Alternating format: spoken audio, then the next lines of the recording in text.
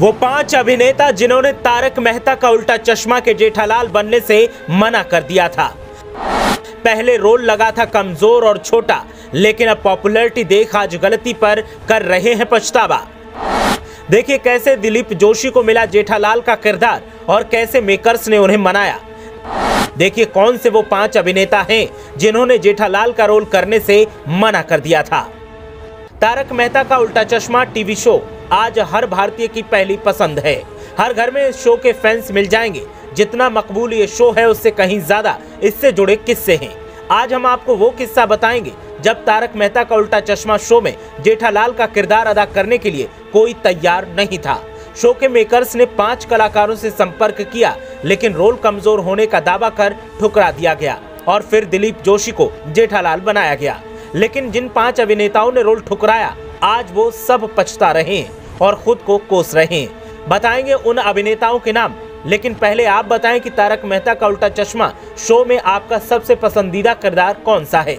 हमें कमेंट करके अपनी राय ज़रूर बताएँ। अब बात करते हैं उन अभिनेताओं की जिन लोगों ने जेठालाल के किरदार को अदा करने से मना कर दिया था।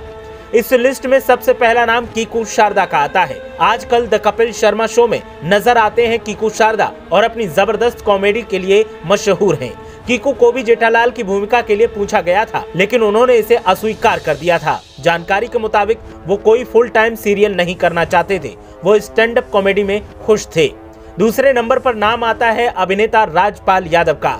राजपाल यादव टीवी के साथ हिंदी फ़िल्म जगत का एक जाना माना चेहरा है वो बॉलीवुड पर ही फोकस करना चाहते थे तो टेलीविज़न पर काम नहीं करना चाहते थे, और इसीलिए उन्होंने जेठालाल के रोल का ऑफ़र ठुकरा दिया था।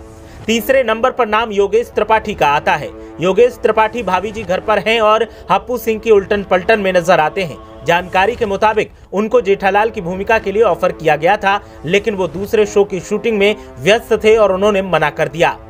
चौथे नंबर पर कॉमेडियन एहसान कुरैशी का नाम आता है। एहसान कुरैशी की पहचान एक स्टैंड अप कॉमेडियन के रूप में होती है, मगर कम लोग जानते हैं कि वो अच्छी एक्टिंग भी कर लेते हैं। उनकी इसी प्रतिभा को देखते हुए उनसे जेठालाल के रोल के लिए संपर्क किया गया था, मगर उन्होंने तारक मेहता का उल्टा चश्मा में काम करने से मना कर दिया था। आखिर नंबर पर नाम अभिनेता अली असगर का आता है। अली असगर जेठालाल के रोल के लिए मेकर्स की पहली पसंद थे, लेकिन अली वक्त नहीं निकाल पाए और उनके हाथ से ये रोल चला गया। अली कहानी घर घर की कुटुंब, comedy circus comedy nights with Kapil जैसे शो में नज़र आ चुके हैं।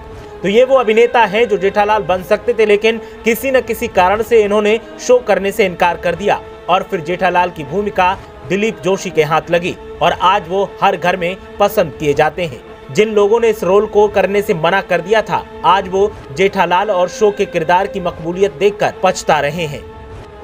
ब्यूरो रिपोर्ट, मीडिया हलचल।